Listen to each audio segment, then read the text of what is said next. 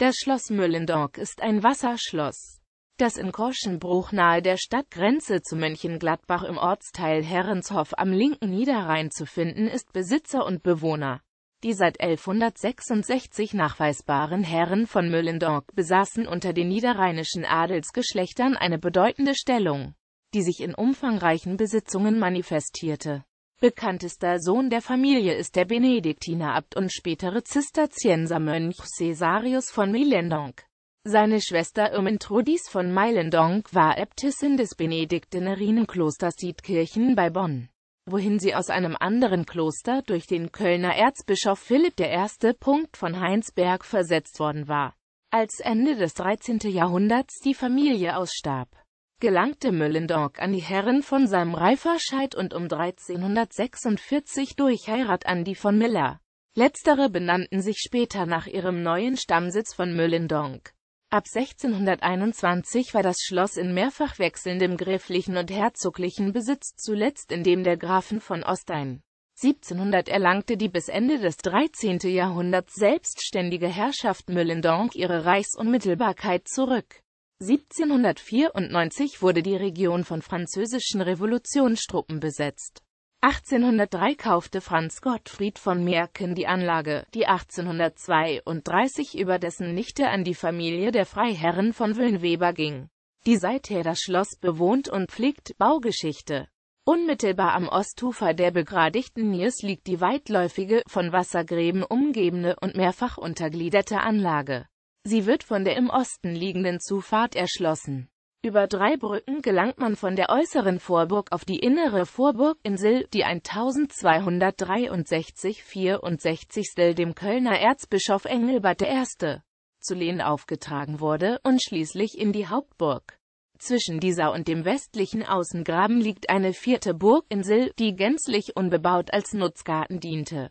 Müllendorf, das auf vielen in den Auen der Niers erbaut wurde, beeindruckt besonders durch seine hohen Backsteingebäude die eher wahllos aneinandergefügt wirken und die baumbestandene Landschaft überragen. Aufgrund seiner verschachtelten Silhouette entspricht das Schloss dem malerisch-romantischen Bild einer trutzigen Wasserburg. Ein 1559 datierter Wappenstein, der 1856 an die erneuerte Hörfront des Westturms versetzt wurde, deutet auf Um- und Erweiterungsbauten hin. Möglicherweise stammte er von dem neu errichteten Ostflügel, der auch die Zufahrt überspannte als 1591 Teile des gotischen Palas einstürzen, wurde dessen Hoffront vollständig erneuert und mit einer dekorativen Renaissance-Loggia ausgestattet. Aus dem letzten Jahrzehnt des 16. Jahrhunderts stammen außerdem alle Dächer und die laternenbekrönten Turmhauben. Gemäß der Datierung eines Mauerankers wurden 1630 der sechsgeschossige Nordostturm und die Ostfassade des Seitenflügels zu einer barocken Schaufront umgestaltet die neu geschaffene Pracht, die von einem barocken Terrassengarten mit kleinem Pavillon abgerundet wurde, bestand allerdings nicht sehr lange. 1642 wurde das Schloss bei kriegerischen Auseinandersetzungen beschädigt. 1655 und 1671 von spanisch-geltrischen Truppen besetzt, die die angestrebte Loslösung aus dem Lehnsverband verhindern sollten in diesem Zusammenhang wurde der Arkadengang vermauert und Mitte des 18. Jahrhunderts der Südteil des Ostflügels einschließlich der Tordurchfahrt abgebrochen. Dennoch hat sich bis heute eine imposante Anlage erhalten. Heutige Nutzung Heute befindet sich auf dem zum Schloss gehörenden Areal ein 18-Loch-Meisterschaftsgolfplatz.